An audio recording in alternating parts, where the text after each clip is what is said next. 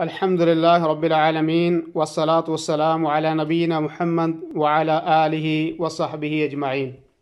ساری تعریفیں اللہ کے لیے ہیں اور نبی کریم صلی اللہ علیہ وسلم پر درود و سلام نازل ہو۔ آپ جانتے ہیں کہ امام نووی رحمہ اللہ کی کتاب الاربعین النوویہ، جو چالیس احادیث کا مجموعہ ہے، روزانہ کی بنیاد پر ہم اس سے پڑھ رہے ہیں۔ اور آج جس حدیث کو ہم پڑھیں گے، وہ حدیث نمبر اکتالیس ہے۔ آپ کہیں گے، آپ چالیس حدیث کا مجموعہ کہتے رہے، یہ تو اکتالیس نمبر حدیث ہے۔ میں نے آپ کو شروع میں بھی یہ بتایا تھا کہ یہ حدیث یہ بیالیس احادیث ہیں، لیکن عرب لوگ چالیس سے اوپر والی جو گنتی ہوتی ہے، اس کو چالیس ہی میں شمار کرتے ہیں اور اس کی اکثر وضاحت ہم پہلے کر چکے ہیں۔ یہ حدیث رسول کریم صلی اللہ علیہ وسلم کی اطاعت کے بارے میں ہے اور یہ کہ آپ کی اطاعت و فرمداری ایمان کی نشانی اور اس کی علامت ہے، اس کے متعلق ہے۔ حدیث پڑھتے ہیں اور اس کے بعد ترجمہ اور مختصر وضاحت کریں گے۔ عن ابی محمد عبد الله بن عمرو بن العاص رضي الله عنهما قال قال رسول الله صلى الله عليه وسلم، لا يؤمن احدكم حتى يكون هواه تبعا لما جئت به۔ حديث حسن صحيح رويناه في كتاب الحجة بإسناد صحيح عبداللہ ابن عام رضی اللہ عنہما سے روایت ہے کہ رسول اللہ صلی اللہ علیہ وسلم نے ارشاد فرمایا، تم میں سے کوئی اس وقت تک مومن نہیں ہو سکتا جب تک کہ اس کی خواہشات میری لائی ہوئی شریعت کے تابع نہ ہو جائیں۔ حدیث حسن صحیح ہے۔ اور اس کو کتاب الحجہ میں اسی صحیح صنعت کے ساتھ جو ہے وہ روایت کیا ہے۔ اس حدیث میں اس چیز کی وضاحت ہے کہ انسان اس وقت تک کامل مومن نہیں ہو سکتا جب تک اس کی محبت رسول اللہ صلی اللہ علیہ وسلم کی لائی ہوئی شریعت کے تابع نہ ہو جائے۔ اور وہ آدمی آپ کے بتائے ہوئے حکموں سے محبت نہ کرنے لگ جائے اور آپ نے جن چیزوں سے منع کیا ہے یا روکا ہے ان سے رک جائے۔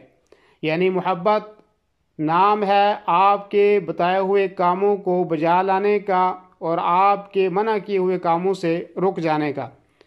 اور جن کی محبت آپ کی شریعت کے مطابق نہیں ہوتی، وہ کئی طرح کے لوگ ہوتے ہیں۔ ایک قسم کے لوگ تو وہ ہوتے ہیں جو پوری طرح آپ کی شریعت سے بیزار ہوتے ہیں۔ ان کا دل اس چیز کو مانتا ہی نہیں ہے کہ آپ علیہ السلاۃ والسلام کی شریعت برحق ہے، تو ایسے لوگ کافر ہیں۔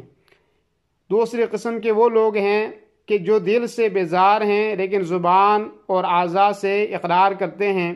تو ایسے لوگ جو ہیں وہ منافق کی فہرست میں آتے ہیں جو اور کچھ لوگ ایسے ہیں کہ جو کبھی اپنی خواہش پر چلتے ہیں اور کبھی شریعت پر بھی عمل کر لیتے ہیں اور آپ کے حکموں میں کچھ کوتاہی کرتے ہیں اور ایسے ہی بعض حرام کاموں کا ارتکاب کرتے ہیں اور ایسے لوگ جو ہیں، یہ مومن بھی ہیں، فاسق بھی ہیں، کیونکہ اپنے ایمان اور اتباع کے اعتبار سے یہ مومن ہیں اور اپنی مخالفت اور معاشیت کی بنا پر یہ لوگ فاسق کہلائیں گے۔ اور اس حدیث میں اس چیز کا بھی تذکرہ ہے کہ خواہشات نفس کی پیروی جو ہے، اس کو چھوڑ دینا چاہیے اور اس کی مذمت کی گئی ہے۔ اور یہ کہا گیا ہے کہ شریعت کو اپنایا جائے اور شریعت کے اوپر جو ہے وہ چلا جائے۔ اور خصوصاً جب وہ شریعت کے خلاف کوئی کام کر رہے ہوں، تو اس وقت ان کو چھوڑ دینا چاہیے اور اللہ اور اس کے رسول کی باتوں کے اوپر عمل کرنا چاہیے۔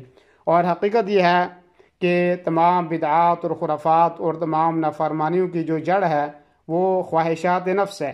اور اگر آدمی خواہشات نفس کو چھوڑ دے، تو انشاءاللہ وہ کتاب و سنت پر اچھے طریقے سے عمل کر سکتا ہے۔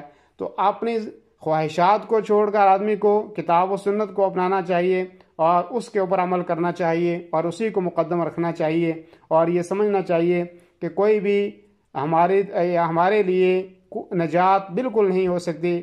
اللہ یہ کہ ہم کتاب و سنت کو اپنائیں اور آپ علیہ الصلاۃ والسلام نے جن کاموں کے کرنے کا ہمیں حکم دیا ہے، ان کو کیا جائے۔ اسی طرح خلفۂ راشدین نے جن کاموں کے کرنے کیا ہے یا جن کے کرنے کے لیے ہمیں کہا ہے، ان کو کہا جائے۔ ایسے ہی صحابہ کے رام رضوان اللہ علیہ مجمعین کے کا جو طریقہ ہے، جو آپ نے کیا، وہ ہمارے لیے کرنا ضروری ہے۔